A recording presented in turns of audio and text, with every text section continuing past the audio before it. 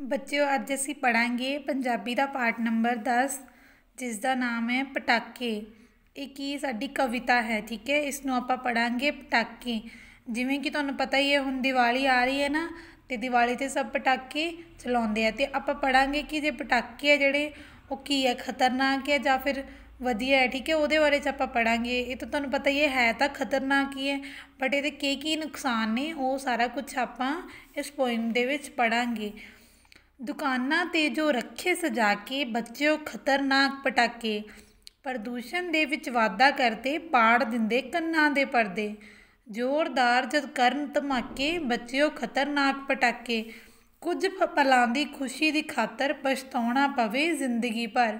ਵਾਪਰ ਜਾਣ ਜਦ ਭਿਆਨਕ ਵਾਕੇ, ਬੱਚਿਓ ਖਤਰਨਾਕ ਪਟਾਕੇ। ਤੇ ਇਹਦੇ ਵਿੱਚ ਦੇਖੋ, ਦੁਕਾਨਾਂ 'ਤੇ ਜੋ ਸਜਾ ਕੇ ਰੱਖੇ ਹੋਏ ਆ, ਕਹਿੰਦੇ ਪਟਾਕੇ, ਉਹ ਬਹੁਤ ਹੀ ਖਤਰਨਾਕ ਹੈ। ਖਤਰਨਾਕ ਮੀਨਸ ਕਿ ਲਿਖਿਆ ਨਾ ਭਿਆਨਕ ਡੇਂਜਰਸ ਜਿਹੜੇ ਕਿ ਮਤਲਬ ਸਾਨੂੰ ਬਹੁਤ ਨੁਕਸਾਨ ਪਹੁੰਚਾ ਸਕਦੇ ਆ। ਪ੍ਰਦੂਸ਼ਣ ਦੇ ਵਿੱਚ ਵਾਧਾ, ਇਹ ਜਿਹੜਾ ਪ੍ਰਦੂਸ਼ਣ ਹੈ ਇਨਵਾਇਰਨਮੈਂਟ ਨੂੰ ਮੈਲਾ ਕਰਦੇ ਆ, ਗੰਦਾ ਕਰਦੇ ਆ।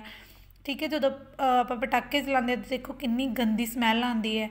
ਉਹ ਕੀ ਹੈ, ਉਹਦੇ ਨਾਲ ਸਾਡੀ ਜਿਹੜੀ ਹਵਾ ਹੈ, ਉਹ ਜ਼ਹਿਰੀਲੀ ਹੁੰਦੀ ਹੈ। ਪਾੜ ਦਿੰਦਾ ਕੰਨਾਂ ਦੇ ਪਰ ਜਿਹੜੇ ਛੋਟੇ ਬੱਚੇ ਹੁੰਦੇ ਆ ਜਾਂ ਬਜ਼ੁਰਗ ਹੁੰਦੇ ਆ, ਠੀਕ ਹੈ, ਜਿਨ੍ਹਾਂ ਦੇ ਬੱਚੇ ਛੋਟਿਆਂ ਦੇ ਪਰਦੇ ਬਿਲਕੁਲ ਕੋਮਲ ਹੁੰਦੇ ਆ ਨਾ ਅਤੇ ਅਗਰ ਉਹਦੇ ਤੁਸੀਂ ਕੋਲ ਵੱਡੇ ਵੱਡੇ ਪਟਾਕੇ ਚਲਾਓਗੇ ਤਾਂ ਉਹਨਾਂ ਦੇ ਕੰਨਾਂ ਦੇ ਪਰਦੇ ਵੀ ਫਟ ਸਕਦੇ ਆ। ਜ਼ੋਰਦਾਰ ਧਮਾਕਾ ਹੁੰਦਾ ਹੈ, ਠੀਕ ਹੈ? ਜਦੋਂ ਤਾਂ ਬਹੁਤ ਨੁਕਸਾਨ ਹੋ ਸਕਦਾ ਹੈ। ਕੁਝ ਪਲਾਂ ਦੀ ਖੁਸ਼ੀ ਦੀ ਖਾਤਰ ਕਿ ਆਪਾਂ ਆਪਣੀ ਕੁਝ ਪਲਾਂ ਦੀ ਖੁਸ਼ੀ ਦੀ ਖਾਤਰ ਕਿ ਸਾਨੂੰ ਥੋੜ੍ਹੀ ਜਦੋਂ ਪਟਾਕਿਆਂ ਦੀ ਆਵਾਜ਼ ਆਉਂਦੀ ਉਹਦੀ ਸਾਊਂਡ ਸੁਣ ਕੇ ਜਾਂ ਆਤਿਸ਼ਬਾਜ਼ੀਆਂ ਅਸਮਾਨ ਦੇ ਵਿੱਚ ਚੱਲਦੀਆਂ, ਉਹ ਸਿਰਫ ਥੋੜ੍ਹੇ ਪਲ ਦੀ ਖੁਸ਼ੀ ਹੈ ਕਿ ਅਸੀਂ ਉਸ ਖੁਸ਼ੀ ਦੀ ਖਾਤਰ ਕੀ ਕਰਦੇ ਹਾਂ।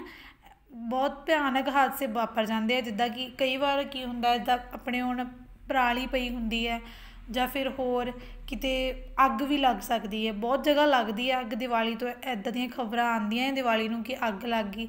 ਠੀਕ ਹੈ, ਫਿਰ ਉਹਦੇ ਕਰਕੇ ਕੀ ਹੈ, ਬਹੁਤ ਭਿਆਨਕ ਹਾਦਸੇ ਵੀ ਵਾਪਰ ਜਾਂਦੇ ਹੈ। ਕਈ ਵਾਰ ਕਿਸੇ ਦੀ ਗੱਡੀ ਨੂੰ ਅੱਗ ਪੈ ਜਾਂਦੀ ਹੈ, ਠੀਕ ਹੈ, ਆਤਿਸ਼ਬਾਜ਼ੀ ਨਾਲ ਬਹੁਤ ਸਾਰੇ ਇੱਦਾਂ ਦੇ ਹਾਦਸੇ ਵਾਪਰ ਜਾਂਦੇ ਹੈ ਜਿਸ ਨਾਲ ਕੀ ਹੈ, ਸਾਨੂੰ ਜ਼ਿੰਦਗੀ ਭਰ ਪਛਤਾਉਣਾ ਪੈਂਦਾ ਹੈ। ਇਸ ਲਈ ਉਹ ਕਵੀ ਦੱਸਣ ਦੀ ਕੋਸ਼ਿਸ਼ ਕਰ ਰਿਹਾ ਹੈ ਕਿ ਪਟਾਕੇ ਆ ਜਿਹੜੇ, ਉਹ ਬਹੁਤ ਹੀ ਖਤਰਨਾਕ ਹੈ। ਬੜੀ ਤੇਜ਼ ਰੋਸ਼ਨੀ ਛੱਡਦੇ ਸਿੱਧਾ ਅਸਰ ਅੱਖਾਂ 'ਤੇ ਕਰਦੇ। ਨਜ਼ਰ ਕੋ ਆਵੇ ਜੋ ਵੀ ਝੱਕ ਕੇ ਬੱਚਿਓ ਖਤਰਨਾਕ ਪਟਾਕੇ। ਉਹ ਕਹਿੰਦੇ ਜਿਹੜੀ ਇਹਦੀ ਰੋਸ਼ਨੀ ਹੈ, ਜਿਹੜੀ ਮਤਲਬ ਇਹ ਲਾਈਟ ਆਉਂਦੀ ਹੈ ਪਟਾਕਿਆਂ ਤੋਂ, ਉਹ ਸਾਡੀ ਅੱਖਾਂ 'ਤੇ ਬਹੁਤ ਪ੍ਰਭਾਵ ਪਾਉਂਦੀ ਹੈ। ਉਹਦੇ ਨਾਲ ਸਾਡੀ ਆਈਸਾਈਟ ਵੀਕ ਹੋ ਸਕਦੀ ਹੈ ਕਿਉਂਕਿ ਇਹ ਬਹੁਤ ਹੀ ਮਤਲਬ ਵਧੀਆ ਨਹੀਂ ਹੁੰਦੇ। ਜਿਹੜੀ ਆ ਰੋਸ਼ਨੀ ਉਹਦੇ ਚੋਂ ਨਿਕਲਦੀ ਬਹੁਤ ਜ਼ਹਿਰੀਲੀ ਹੁੰਦੀ ਹੈ। ਇਹਦੇ ਨਾਲ ਸਾਡੀ ਜਿਹੜੀ ਆਈਸਾਈਟ ਹੈ, ਉਹ ਜਾ ਵੀ ਸਕਦੀ ਹੈ। ਦੇਸ਼ ਦਾ ਤੁਸੀਂ ਬੱਚਿਓ ਧਨ ਭਲੂਰੀਏ ਦੀ ਗੱਲ ਲਓ ਮਨ। ਖਾਓ, ਪੀਓ, ਤਿਆਗੋ ਪਟਾਕੇ ਬੱਚਿਓ ਖਤਰਨਾਕ ਪਟਾਕੇ। ਉਹ ਕਹਿੰਦੇ ਤੁਹਾਨੂੰ ਤੁਸੀਂ ਬੱਚੇ ਆ ਜਿਹੜੇ ਦੇਸ਼ ਦਾ ਧਨ ਹੈ, ਮਤਲਬ ਕਿ ਦੇਸ਼ ਦੀ ਦੌਲਤ ਹੈ, ਭਵਿੱਖ ਹੈ ਦੇਸ਼ ਦਾ।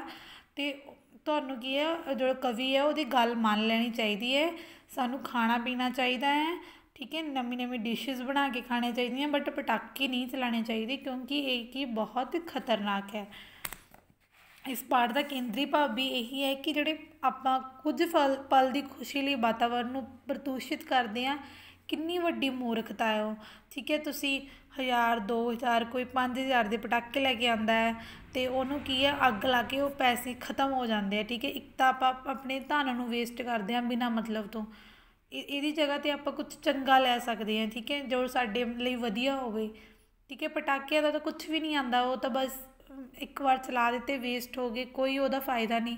ਉਲਟਾ ਸਾਨੂੰ ਕੀ ਹੈ, ਨੁਕਸਾਨ ਹੁੰਦੇ ਆ। ਜਦੋਂ ਹੁਣ ਦੀਵਾਲੀ ਖਤਮ ਹੁੰਦੀ ਹੈ ਤਾਂ ਉਹ ਤੋਂ ਬਾਅਦ ਬਹੁਤ ਬੱਚੇ ਬਿਮਾਰ ਹੁੰਦੇ ਆ, ਹਵਾ ਪ੍ਰਦੂਸ਼ਿਤ ਹੁੰਦੀ ਹੈ। ਉਹਦੇ ਨਾਲ ਕੀ ਹੈ, ਇੱਕਦਮ ਤੋਂ ਬਿਮਾਰ ਹੁੰਦੇ ਆ ਸਾਰੇ, ਕਿਉਂਕਿ ਸਾਡੀ ਆਲੇ ਦੁਆਲੇ ਹਵਾ ਕੀ ਹੈ, ਪ੍ਰਦੂਸ਼ਿਤ ਹੋ ਜਾਂਦੀ ਹੈ। ਇਸ ਲਈ ਸਾਨੂੰ ਪਟਾਕੇ ਨਹੀਂ ਚਲਾਉਣੇ ਚਾਹੀਦੇ। ਬੱਚਿਆਂ ਨੂੰ ਖਤਰਨਾਕ ਚੀਜ਼ਾਂ ਤੋਂ ਦੂਰ ਰਹਿਣਾ ਚਾਹੀਦਾ ਤੇ ਚੰਗੇ ਖਾਣ ਪੀਣ ਨੂੰ ਵੱਲ ਧਿਆਨ ਦੇਣਾ ਚਾਹੀਦਾ। ਇਹਨਾਂ ਚੀਜ਼ਾਂ ਨੂੰ ਨਹੀਂ ਚਲਾਉਣਾ ਚਾਹੀਦਾ, ਬਲਕਿ ਚੰਗਾ ਖਾਣਾ ਪੀਣਾ ਚਾਹੀਦਾ ਹੈ, ਠੀਕ ਹੈ?